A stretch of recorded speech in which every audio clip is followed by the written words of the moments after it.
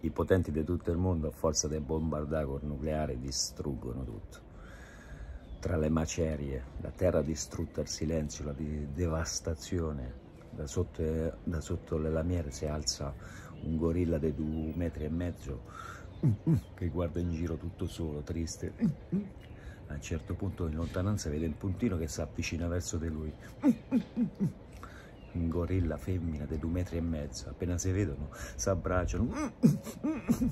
La gorilla femmina mette una mano in mezzo al pelo, tira fuori una mela e gliela mostra al gorilla. Il gorilla guarda e fa, la ricominciamo un'altra volta.